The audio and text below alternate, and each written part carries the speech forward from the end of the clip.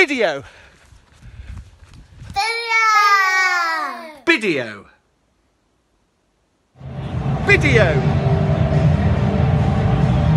Video. Hi, and welcome to episode six, the final episode of my Bideo series, which has been really well received. The video. I have no idea what you're talking about. The video.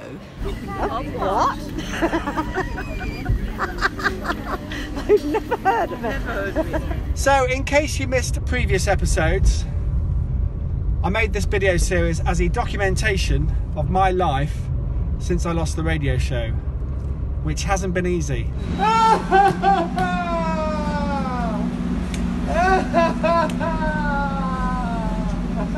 But despite all the challenges, I've bounced back and I've got a brand new job.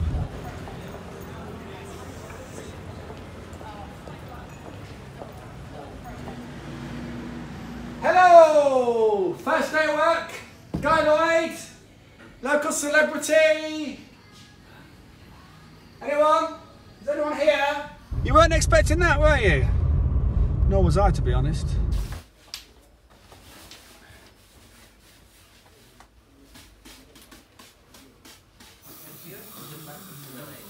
But having been on the radio for 13 years, you learn to communicate with loads of different types of people.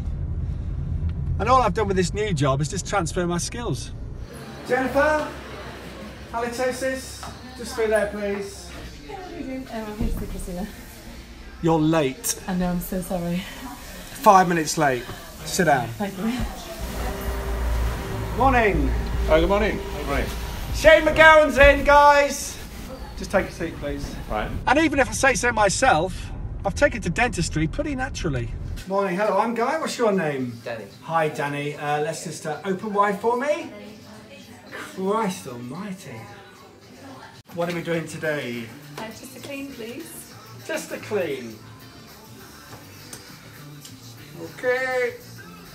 That's it. That's good. And although I'm in a totally different field of work, the entertainer in me, well, it's never too far away. What did the uh, dentist of the year get? A filling? A little plaque.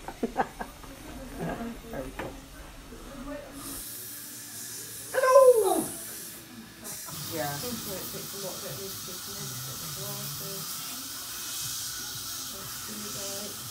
And it's been really exciting launching a brand new career. So, Chris, how do you think I did? No, it's not been good, Guy. What do you mean it's not been good? It's been a tough week. Far too many complaints. Complaints? Yeah, I've just started you're the just job. not. You're not cut out for the job. Okay, just give me an extra day No, no, I can't. I'll, can turn things No, around. you can't. I think you should go. What, now? Yeah, uh, absolutely. I've got no work. I'm sorry. I'm really sorry, but you just. It's just not for you. It's not for us. It's not for you. I think you should go now. Sorry.